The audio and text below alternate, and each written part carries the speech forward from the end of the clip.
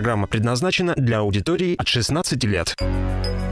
Особое мнение на 101 FM.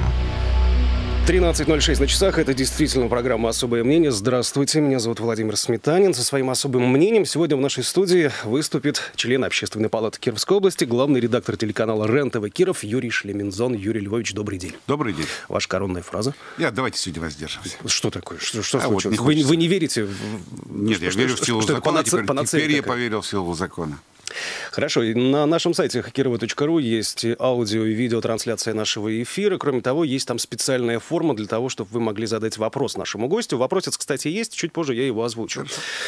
Ну что, 20, 20 и 22 ноября в нашем городе прошел четвертый уже по счету гражданский форум. Это, я так понимаю, главное мероприятие в Ну году да, для общественной палаты, некий венец деятельности.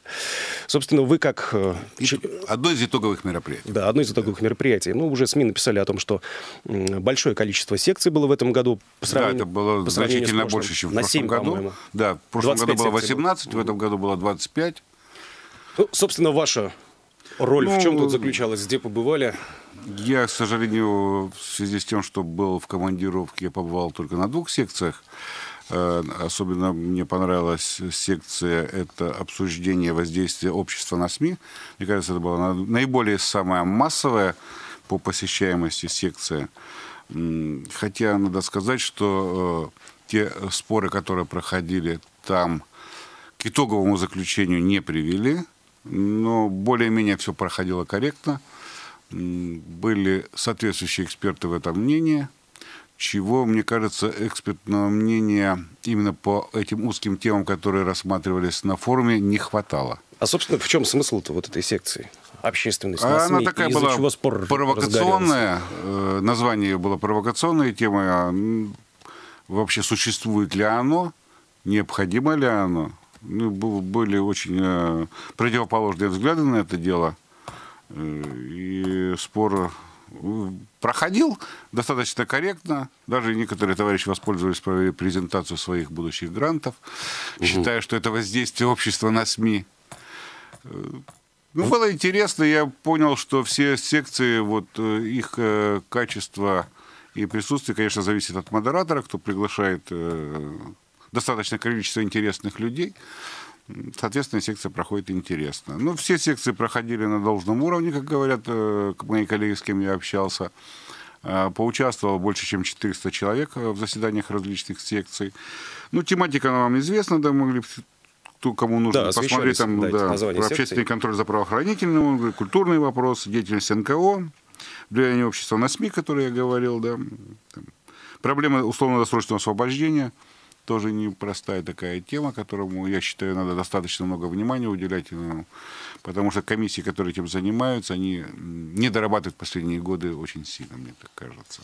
Ну, проблема воздействия общества на СМИ. Давайте Да, и еще вот, В чем э, конкретика-то? Я собственно? хотел бы еще один вопрос. Давайте. Э, Вот э, когда был взгляд со стороны, там присутствовали люди не из Кировской области, они отметили, что нет систематической работы по данным тематикам, которые рассматривают в течение года. Я считаю, что это одно из основных э, как бы, ну, требований к работе как э, членов общественной палаты, так и, людей, которые из НКО, много принимающих участие. Ну, я вот могу сказать, что вот э, группа, рабочая группа, в которую я вхожу по работе с правоохранительными органами, она на постоянной основе в течение года работает. Проблемы поднимает. То есть, то есть смысл в том, что вот год идет, время идет, вроде как э, Да. эти проблемы не поднимаются, не озвучиваются, а тут на гражданском форуме бац, Выскочили, да. всплыли. Я считаю, что надо систематически заниматься теми проблемами, которые интересуют население, интересуют общественность, интересуют э, тех людей, которые стоят во главе э, разрешения этих проблем. Поэтому систематическая работа в течение года, мне кажется, даже более важна, чем вот эта конкретика, ну, конкретика или э, собесед- беседа, которая проходит на самом форуме. И надо понимать, что все, что происходило на форуме, это будет э, положено как раз в план работы общественной комиссии на следующий год. А может быть, в течение года, ну как вот предложение сразу зреет, может какие-то мини-гражданские форумы проводить? Там Ну, раз в квартал, например. Достаточно сложное мероприятие. Ну, во-первых, есть э, пленарные заседания общественной палаты, да, где можно решать эти вопросы, э, на которых, как всегда, у нас же открытая организация, где могут при- присутствовать эксперты и другие ли- лица, которые занимаются этими проблемами. Так что и часто бывает, что вот некие круглые столы, как мы их называем, да, они превращаются в такие мини, мини-форумы, и где выходят э, достаточно конкретные решения, предложения для администрации там, или других органов по устранению проблем, которые возникают в, обсуждении на этих э, мероприятиях. Ну, хотелось бы поподробнее, чтобы вы рассказали об вот этой секции, обще- Вы общество и знаете- СМИ. В чем, как проблематика-то была поставлена? Ну, вы как СМИшник. Она была поставлена, я вот как раз был из тех, которые говорил, что это, э, ну, я не буду говорить, что это глупость, да, но это специально было в такой провокационной форме э, построено, потому что мы на самом деле мы понимаем, что э, в основном СМИ воздействуют на общество, а общество воздействует на СМИ, это у нас получается то, что вот мы пытаются сделать сейчас, да, то есть э, регулировать контент э, СМИ, э, там, время вещания, наличие или отсутствие рекламы. Вот это называется попытка воздействия общества на СМИ. да. А худсоветы обсуждали, помните, эту идею, которая Не, ну, прозвучала в до- этом до году? такого бреда Создание конечно, не дошли. на телеканалах. Да, есть такой. Ну, общ- э, общественные советы, может, и будут, э, особенно на общероссийских каналах, наверное, это и не вредно. Здравые мысли. Правда, кто их будет слушать потом и выполнять, это другой вопрос. Пока эти каналы существуют как бизнес-структуры, тогда очень сложно, э, как э, говорил наш президент, эти сериалы дефективы смотреть Мгм. постоянно. Ну да, это, наверное, неверно. Но вы-то выступали, вы-то какую позицию отстаивали? Я говорил о том, что СМИ воздействуют на общество, и если это делается правильно и грамотно, то это очень даже хорошо. Правильно и грамотно это как? Ну, в рамках закона, если вы доводите э, общие человеческие идеи и направления до большого количества людей, ну, то в этом, как раз, я считаю, заключается работа СМИ. Это не только просветительская или культурная деятельность, что не исключено, конечно, да. Но есть вопросы взаимоотношения между органами власти и обществом, ну и другие разные вопросы. И если СМИ э, это делает, то это очень хорошо. Хотя мы понимаем, что у нас есть много развлекательных СМИ, да, есть там узколокальных СМИ, там, связанных с природой. Ну, вообще много же сейчас э, информационных каналов, э, не только которые занимаются выпуском новостей, да, а и другими вещами. Ну, развлекательный продукт Да. создают. Ну, надо сказать, что вот э, созданный общероссийский канал э, «Общественное телевидение», да, он, конечно, очень слаб. Но это не только у нас. На самом деле зрительская аудитория таких каналов э, в странах э, этого Дикого Запада тоже составляет от 1,2 до 2% максимально. Хотя размещать рекламу на этих каналах считается очень престижно для бизнеса, например небольшие аудитории, они вот, и вот я где был, возрастной, возрастная планка сотрудников тоже очень большая, да, это вот такое напоминает мне старое ВГТРК во многих странах. А вот рамки закона это единственное, чем сейчас должны руководствоваться СМИ. Просто есть эти вещи, которые в законах там не прописаны, вопросы морали, этики. Ну, конечно, мы можем говорить, Нравственности. что общечеловеческие э, законы всегда должны жить, присутствовать и напоминать о их присутствии. Я считаю, что эта роль СМИ в этом большая. Вы какие-то СМИ можете сейчас упрекнуть за вот несоответствие этим высоким Не, я вообще нормам коллег и сферам? коллег не обсуждать никогда. Что Не касается, обсуждать. Если они не нарушают закон, я никогда не обсуждаю. что касается темы условно-досрочного освобождения, зацепился слух. А что за Ну, проблема я- у нас сейчас? Ну, во-первых, вы- вы- э, я не присутствую, конечно, на этой секции, но не- немного знаю эту проблематику. Но получить досрочное освобождение, это очень сейчас стало сложно. Просто очень сложно. В связи с чем? Это, ну, различные факторы влияют на эту вещь. И я не буду говорить, что там какая-то такая команда прошла, чтобы их сократить. Но получают досрочное-досрочное освобождение, если- взять вот Российскую Федерацию, в основном бывшие сотрудники УВД там, или силовых структур. А у них это получается намного лучше. А вот у бизнесменов это получается хуже. Да? Ну, не говоря о всех остальных категориях Во-первых, очень длительная процедура. А комиссии, которые существуют при губернаторах, тоже это дело делают очень медленно. Ну, а президент э, рассматривает эти документы вообще там один, лучше, лучше два раза в год. То есть это такая проблема серьезная. А какая работа в этом отношении в течение года проводится, вы сказали об этом, вот, в рамках комиссии по... Я не принимаю участие в этой комиссии, э, в работе, сожалению. Я просто отголоски от этих действий знаю, что их мало. И получить их очень сложно. Как, так как э, есть люди, которые там, встали на путь исправления, как мы говорим, да. Но мы же сами понимаем, что у нас и попадают люди не всегда законно туда, да. Тем более этим еще сложнее получить э, по УДО освобождения. Ну, как известно, результатом работы гражданского форума является ряд резолюций, да, принятых? Э, Где-то они еще не приняты, они будут приняты на следующем э, итоговом пленарном заседании. Вот тогда мы сможем с вами их э, озвучить и обсудить, если вы меня пригласите в программу. Хорошо, а если говорить об исполнении резолюций прошлого гражданского форума 2013 Ну, года, известно ли вам, это что лучше воплощено в жизнь? вопрос задать. Он больше объем информации владеет. Я, Я, я просто тем, тем самым просто подвожу к вопросу Нет, на ну, нашем об сайте этом не забывают. Да, об этом не забывают, на самом деле, их отслеживается, э, ведется работа по тому, что... А, во-первых, это все включается в план следующего года, соответственно, это имеет свое действие. Вот, видимо, наш слушатель и пользователь нашего сайта в очередной раз решил упрекнуть нашу общественную палату в чесании языками. Что довела до конца наша общественная палата? Чем реально помогла людям? Ну, Вопрос, вопросы, конечно, конечно, он такой обширный. Огром- огромный. Не, мы можем взять, на сайте хранится резолюция предыдущего гражданского форума, да, и все действия, которые проходили, они тоже на сайте есть, и можно сравнить, провести такой анализ, если кому-то интересно. Ну, а у вас, может быть, какая-то вот есть в голове какие-то кон- конкретные примеры, конкретные где- люди, где они- фамилии. Нет, ну мы, мы же говорим именно о том, что было высказано на гражданском форуме, а не в целом. Конечно, в целом э, есть там вопросы, которые помогали, решали, рассматривали. Во-первых, мы организация не та, которая может пойти закопать в трубу, выкопать трубу или включить свет, да. Мы можем только обращаться, ну так, убедительно и долго к власти, которая это делает. Но обычно реагирование есть. Я вот могу сказать, что мы в свое время рассматривали вопросы освещенности там, пешеходных переходов, да, освещенности улиц.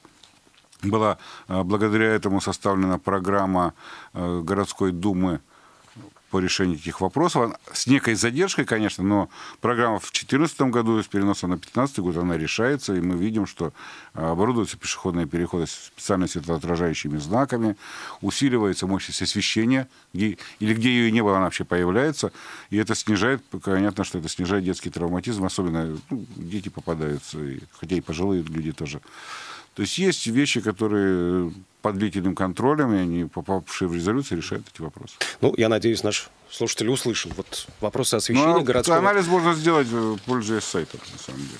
Я напомню, что это особое мнение Юрия Шлемензона, члена Общественной палаты Кировской области, главного редактора телеканала РЕН-ТВ Киров. Я хочу перейти к другому, тоже, в общем-то, знаковому и значимому событию. На прошлой неделе губернатор Кировской области представил Совету законодательного собрания нашего регионального состав нового правительства. На этой неделе, 27 числа, состоится пленарное заседание, на котором депутаты будут голосовать за кандидатуры заместителей председателя правительства. Всего их, как известно, 11 человек. Сергей Щерчков, Дмитрий Матвеев, Алексей Кузнецов, Александр Галецких, Елена Ковалева, Борис Веснин, Алексей Котлячков, Юрий Юсупов, Евгений Михеев, Роман Береснев, Алексей Вершинин. Вот, собственно, по персоналям заместителей председателя правительства. Э, Ну, это лучше к Никите Юрьевичу по персоналям вообще, на самом деле, Ну, задать вопрос.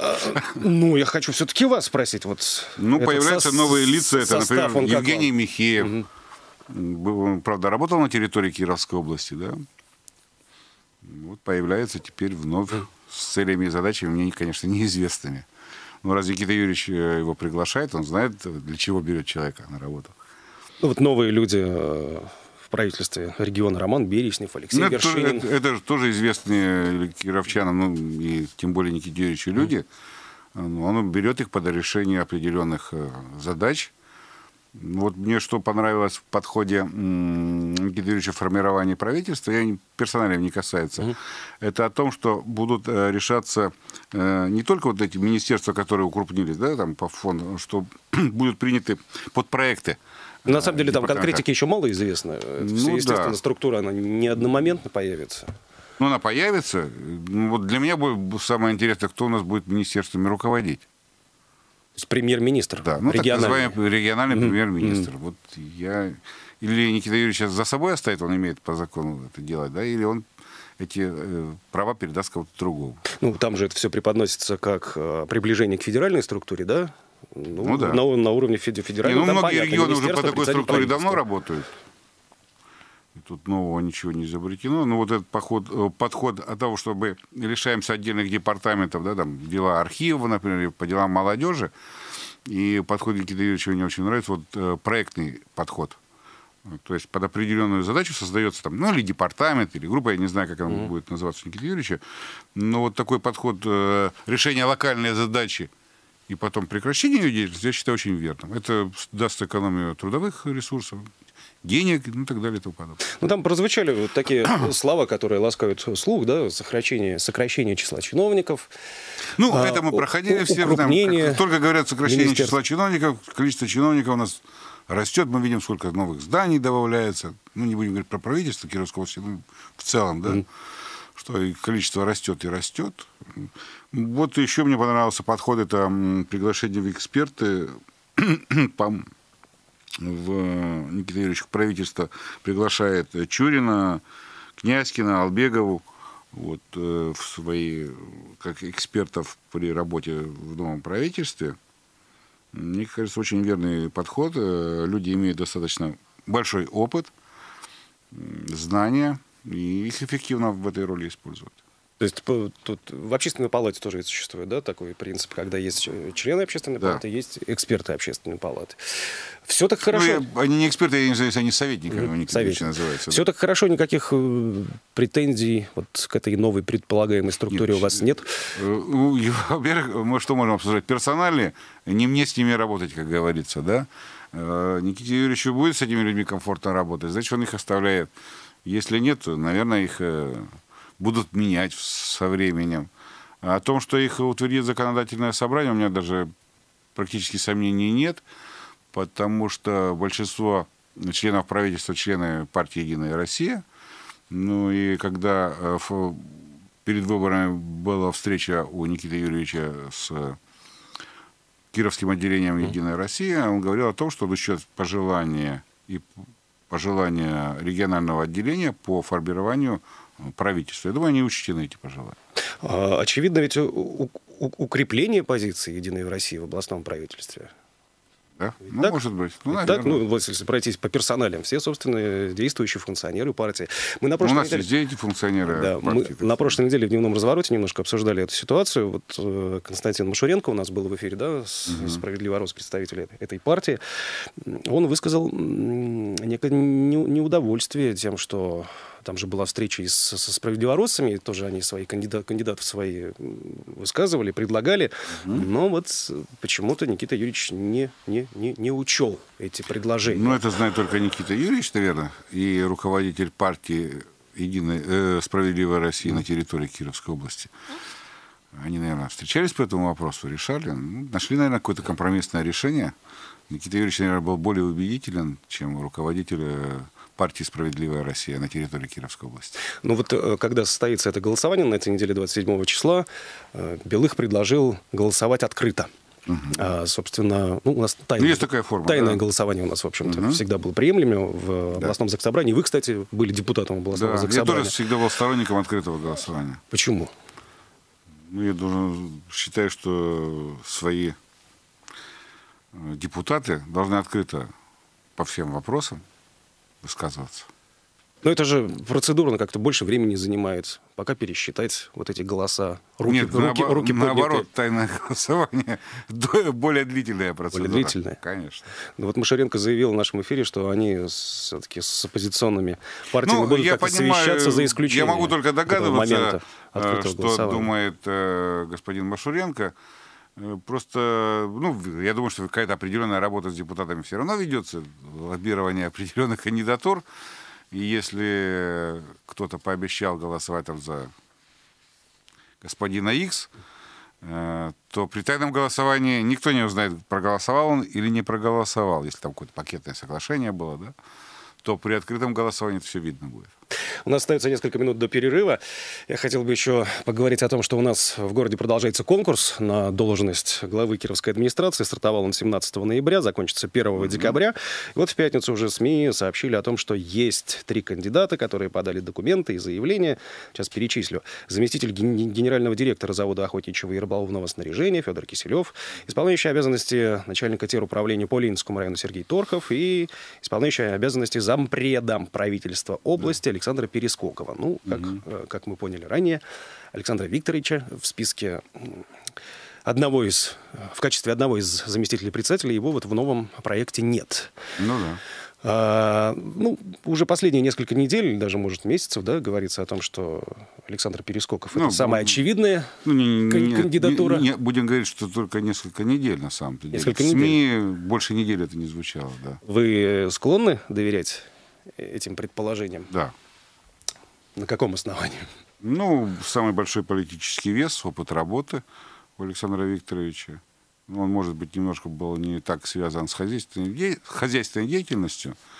Э, Но я думаю, что он сможет переформатировать э, свою работу. А так как он достаточно долго работал в органах госвласти, я думаю, что у него и здесь хорошо все получится. Ну, у нас сегодня в развороте тоже обсуждалась эта тема, и, собственно, вот Киселев и Торхов нашими гостями были названы кандидатурами чисто техническими. Ну, я Поддерживаете, не Да, я, поддерживаете? наверное, склонюсь к этому мнению. Хотя э, для них попадание в этот список – это очень хороший результат на самом деле. Это идет в зачет при дальнейшем дальнейшей службе, на, на дальнейшей государственной службе, да.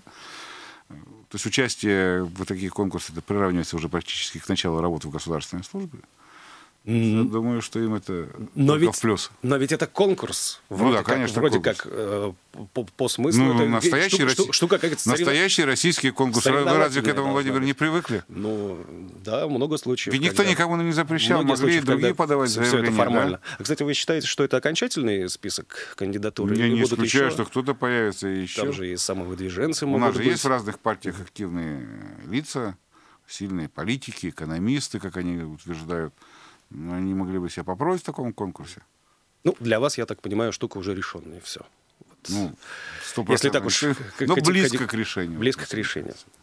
Давайте сейчас прервемся на небольшую... Я бы хотел сразу, что та комиссия, которая будет рассматривать в том формате, как создана комиссия, да, я думаю, что это близко к 99,9. Давайте сейчас прервемся на короткую рекламу, после чего продолжится особое мнение Юрия Шлемензона, члена Общественной палаты Кировской области, главного редактора телеканала РЕН-ТВ Киров. Программа предназначена для аудитории от 16 лет. Особое мнение на 101 FM. Программа «Особое мнение» снова в эфире. И сегодня это особое мнение Юрия Шлемензона, члена Общественной палаты Кировской области, главного редактора телеканала РЕН-ТВ Киров. Вот сейчас хотелось бы очень больную тему поднять, тему стоимости проезда в общественном транспорте в областном в центре. Все дело в том, что в конце прошлой недели в региональную службу по тарифам обратились перевозчики с предложением поднять стоимость проезда в общественном транспорте. Далее примеры. Линия «Авто-1» считает, что нужно до 22 рублей поднять. Эскорт «Авто-М» 24 рубля 29 копеек. Автохозяйство 23 рубля. Автотранспортные предприятия по автобусным маршрутам 25 рублей 52 копейки. По троллейбусам 26 рублей Ну, 27, если не 72 хотят копейки. Поднять примерно на 40%, да? Получается так, ну сразу на 10 рублей, да? С, с- с Ну, нынешних. с 16 на 22, да. Ну, будем говорить, вы за вот э, короткий период э, наш любимый рубль э, скакнул относительно американского плохого Потому что, потому что, рубля. наверное, не, не скакнул, а рухнул. Ну да, нет, сегодня он, например, восстановился на определенную позицию, там, ниже 45 рублей. Надолго ли это хватит, этой позиции? Тоже понятно, что ненадолго. Но если смотреть за стоимостью там, цены на нефть, на которой мы ориентируемся и так далее и тому подобное. Во-первых, мы всегда забываем одно высказывание нашего президента. Он обещал, что бензин будет стоить 1 доллар. Мы весной это получим, даже сомнений нет, что у нас будет бензин стоить 1 доллар, да? В связи с введением региональных налогов, снятие экспорт, э, снижение налога на экспорт. Налоговый да, маневр вы имеете в виду, да. да? А? Налог, налоговый маневр имеете в виду? Да, да, да, да, супер налоговые маневры, в результате которого бензин у нас будет стоить, понятно, на 3, 4, 5 Ну, и ну, неизвестно там на сколько рублей Плю- Плюс, дороже. плюс 3 там Ну, обещают так. сразу в начале У нас, года. когда обещают 3, вы Официально. сами знаете, во сколько это получается, да? Ну, примерно по-старому доллар будет, да? Где-то так. А может и по-новому. Никто это точно не знает. В общем, вы э, считаете, что обосновано предложение Обосновано оно только в таком случае, когда качество обслуживания, которое существует в других регионах, будет хотя бы, ну, хотя бы у нас в Кирове приближаться.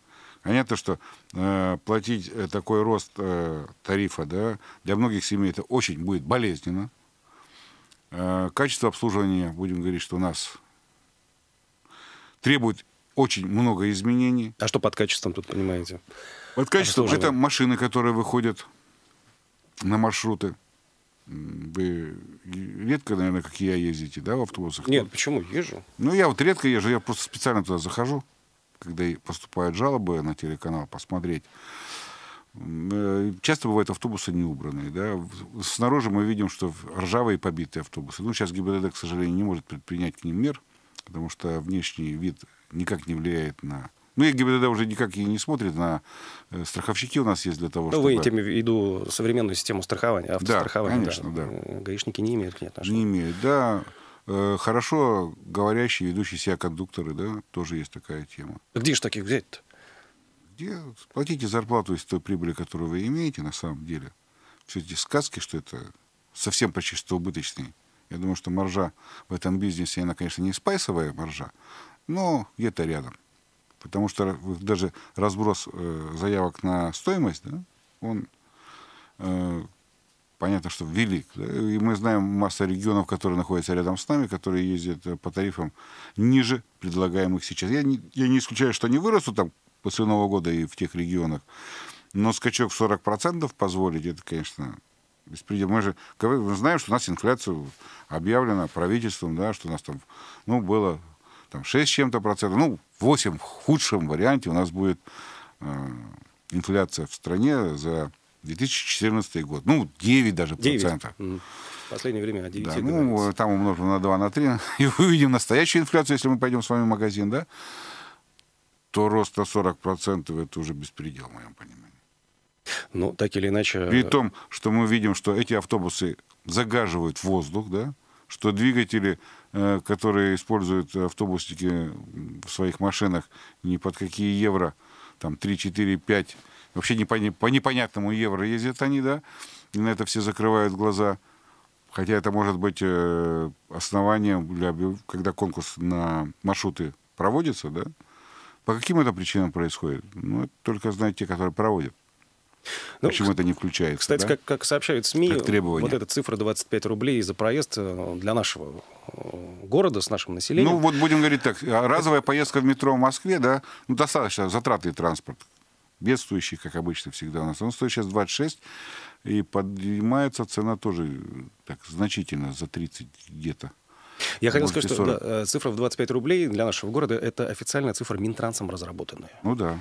Ну, Собственно, как разрабатывают формула это она такая. отрыв от реальной жизни, или что? вот Конечно, вот- чиновников, сидящих там. Вот большущий отрыв. Вот я вчера смотрю программу на канале НТВ, да, э, о том, что надо, ну, программа посвящена внутреннему туризму, и там захлебываясь комментатор говорит, вот видите, вот эта молодая семья из Москвы съездила она отдохнуть э, за город, э, пожила двое суток там в отеле, посмотрела великолепные церкви, природу, всего затратила там в районе 24 тысяч рублей за два дня.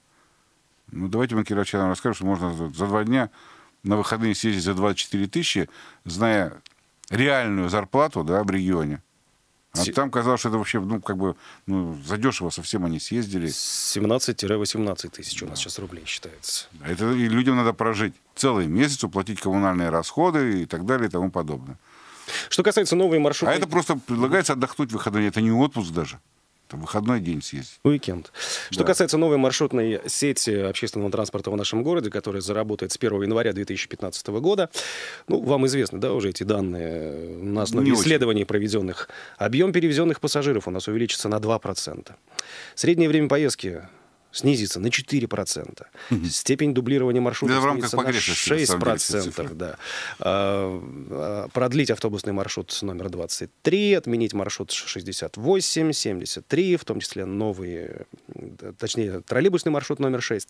Вот такие изменения, и, собственно, Вы знаете, вот насколько они существенны. Мне вот очень сложно это комментировать. Я практически уже давно не пользуюсь общественным транспортом. Ну, в редких случаях, конечно, приходится пользоваться. Поэтому я эту проблему на самом деле глубоко так не знаю. Единственное, я знаю, что всегда надо с научной точки зрения подходить. И всякие такие заказы неизвестно непонятных организациях, когда они размещаются, да, ну, это очень плохо. Нет, там же история-то известная, там администрация Не, я тоже- городская заказала, вет Да. ГБУ, это исследование, собственно, вот. Ну, а что, они являются суперэкспертами в этом деле? Они уже много таких э, транспортных потоков разрабатывали. Ну, там Да. человек, Ну, сотрудник говорить, преподносится как э, действительно эксперт в этих вопросах. Не, ну, и- можно назвать себя экспертом в разных вопросах. Сколько он таких проектов сделал? Ну, Спросите сначала, сколько человек сделал проектов таких транспортов, в каких городах, с каким населением? Если у нас зеленой волны нет в городе, нигде, хотя это уже давно везде проработано, да? Просто надо заказать тем людям, которые умеют это делать, которые высчитают все эти промежутки, и мы будем э, экономить и время, вот мы же там говорим, что возрастет время в пути, да? Но из-за чего? Потому что зеленой волны в городе Кирове нет вообще, нигде. Вы считаете, она возможна у нас при вот той ширине дорог, э, продолжительности этих дорог, Там, где количестве перекрестков и так далее? специалисты это делают. Не, во-первых, у нас ведется работа. У нас становится больше одно- улиц с односторонним движением. Это, конечно, увеличивает э, трафик. э, Однозначно. Потому что во многих городах мира это сделано. Есть районы, где вообще просто одностороннее движение на многих улицах. И они, таких пробок, соответственно, которые у нас возникают, их там нет. Ну, бывает там в случае аварии или что-то, ну, это, это форс-мажор. Вообще все должны сделать специалисты. И это вот э, псевдоэкономия, наши конкурсы, вот закон о конкурсах, которым определяющим является в основном только сумма затрат на проект, это не, не совсем верно, и из-за этого мы получаем э, таких э, Сомнитель- исполнителей заказа, да, Сомнительные, на ваш взгляд. на мой взгляд, сомнительные, да. Или это, я не говорю, что здесь есть коррупционная составляющая, или знакомым вообще отдаются такие заказы. Но я не имею в виду именно по этому поводу, а по многим другим, да. Или реально выигрывает э, фирма, которая просто дала цену ниже, а качество их работ ну, малоизвестно кому. У нас остается пять минут до конца особого мнения. А, Мы э, частенько с вашим участием да, обсуждаем тему вредных привычек. Да, Э, потому что инициатив их всевозможных на этом делаем, да? на инициатив, которые появляются постоянно в этом отношении. Вот с предложение на прошлой неделе, да, это прозвучало предложение группы депутатов Госдумы от ЛДПР убрать алкоголь с глаз покупателей в продуктовых магазинах, только по прайсу продавать, вот как сигареты сейчас, да. В первую очередь автор законопроекта заботится о подрастающем поколении, чтобы дети не видели, не Ну, спрашивали, вот, не э, задавали. Мое что мнение такое вообще по всем картинки. Вот этим вопросам, да, которые у нас сейчас рожают, извини за это слово, депутаты, потому что серьезными вопросами никто не позволяет заняться. А им же надо показать, что они работают. И Вообще скоро, через два года, выборы будут. И вот они всякую чушь, извиняюсь за выражение, несут в законодательную Массу. части масса и штампуют, и штампуют, и штампуют. Хотя мы знаем, что вот этих э, э, таких э, законов э, 99% не проходит, но зато их обсуждают. Мы с вами, нас, как СМИ, обсуждаем, еще обсуждают. Ну, хотите вы сделать, сделайте отдельные магазины. Хотя мы уже давно видим, что они... Но они есть уже. Да, они и существуют, да. Во-первых, алкоголь нигде не стоит вот прямо у входа в магазин, да. Стоят, есть как попутные, берут и берут. Э, Вот если вы не знаете, вот сейчас вносится законопроект даже... Есть такие магазины у- в есть. нашем городе, чтобы попасть в основной отдел, можно пройти сначала через винный. Есть. Ну, и что в этом страшного? Ну Вот, э, приведу вам, вот, когда вот, в перерыве мы разговаривали, э, вы знаете, что вносится законопроект о том, что разрешить рекламу алкоголя. Э, Которая давно ПК, у нас уже да. запрещена. И табака, между прочим, Да-да-да. в печатных СМИ. Да. Вот я думаю, что телевидение недалеко от этого уйдет, по, крайней мере, по алкоголю. И в ответ э, представитель Роскомнадзора, достаточно высокий чиновник, говорит, а вы знаете отравленных водкой белугой? Нет. Это же денатурат, ну что это ее запрещать? Ну, хохот в зале, понятно, что вы же там несколько лет назад говорили, что это такое большое зло. Ну, ну улыбнулся, даже не стал на эти глупости отвечать. Так что есть перегибы в таких вещах. Не знаю, это у нас у всех людей тогда что? Знаете, напиток водка, а разнообразие вин и хороших вин, которые теперь даже в Российской Федерации производятся, их мы не, не будут видеть те, которые... То есть культуры питья мы не увидим, не само питья в магазине, конечно, а то, что при, приобретать. То есть если люди не, не будут представлять о том, что, какой есть существует э, выбор, от них это спрячут, а слово водка все равно вот оно тут где-то рядом крутится. Ну, будут пить водку. Ну, еще кому от этого лучше стало сделать? Специализированные магазины в поле там, или рядом с полем. Ну, кому надо, приедут. Ну, давайте еще про курение, да, уж. Э, а, вот, видимо, да. глава российских железных дорог... Про борьбу с курильщиками. Влад... Владимир Якунин посмотрел на то, как Мучается. реализуется, вернее, совершенно, видимо, не реализуется вот этот запрет на курение в поездах дальнего следования, что можно за взяточку там ну, небольшую если будем говорить... в туалете покурить. Да. В общем, в чем суть-то заключается? Якунин предложил все-таки вернуть курилки в поезда дальнего следования. Ну, Якунин, когда ему не было не запрещено выезжать с территории Российской Федерации, он ведь э, ездил в страны, в страны развитого капитализма, да, и там на всех перронах оборудованы места для курения, да, и никто, ну, во-первых, там перегоны намного короче, чем у нас, да, mm-hmm. мы пока едем с Москвы до Владивостока, так несколько раз придется покурить, наверное. Э, то есть это серьезная проблема. Во-первых, у нас есть минус 30 и более градусов, да, за бортом. Это не то, что ты вышел э, при температуре плюсовой и там выкурил сигарету в, в отведенном месте, которых достаточно много, а не мало на самом деле. Ну, вот он, наверное, это все вспомнил. Может, в его окружении тоже оказались люди, которые себе позволяют курить во время поездки в поезде. Ну, пришли к нормальному, меняемому решению. Я думаю, что оно в, до конца года, ну, в крайнем случае, в первом квартале 2015 года будет принято. У вас такая есть уверенность?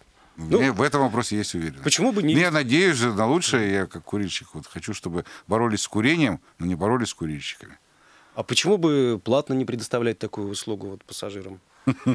поездов дальнего следования. Ну, тут определенное помещение, вагончик какой-то, часть вагона с вытяжкой и так далее. Вы же Я думаю, что, что РЖДшники могут быстро сообразить. прекрасно оборудовано. Э, все это дело взяли и закрыли из-за закона. Ну, ходят все курить в другие комнаты. Все это знают, ну, уже даже никто никого не гоняет. Хотя это было все сделано цивилизованно, как во всем мире. Ну, меня не покидает мысль о том, что на любое действие есть противодействие, если вот у нас все-таки разрешат в поездах, да, курить, где-то все равно потом еще и ущемят. Ну, Будет очередная инициатива. И правильно сделают. И так далее. Завершается программа «Особое мнение». Это «Особое мнение» Юрия Шлемензона, члена Общественной палаты Кировской области, главного редактора телеканала рен Киров. Спасибо, Юрий Львович. Спасибо всем. До свидания. До свидания. «Особое мнение» на 101 FM.